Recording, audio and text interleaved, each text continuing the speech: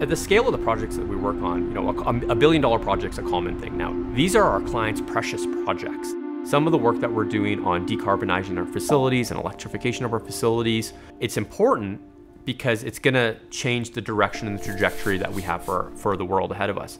And our clients are at the global scale, and the impact that their operations have on the world is material.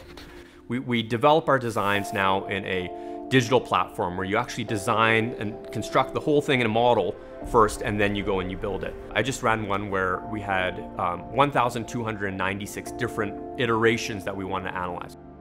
Okay, for each, each potential combination of these options, each different potential combination of these options, here's what'll happen. Here's how much energy you'll use. Here's how much capital cost it will cost. Here's how much greenhouse gas emissions you're gonna have. I can even look at how long is it gonna take a doctor to get from one patient room to another patient room. And I wanna optimize for the minimum number of footsteps. And then what you do is you go and you pinch the strings that go through the outputs that you like. You say, well, I like that energy performance and I, and I like, I want that uh, number of footsteps and I want that capital cost and that operating cost but it allows us to quickly and in an iterative manner analyze different options.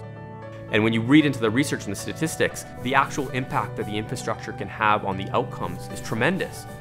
Every project is a new challenge, a new modality, a new specific interdependency and, and elegance. And you're able to bring the experience that we have as a collective sector, delivering, you know, eight, nine billion dollars worth of work every year to these new challenges and these new projects and these new frontiers. And we're able to bring all of that experience and understand the nuances of how to make it better. The fingerprints that we leave on the glass when we do our design is huge.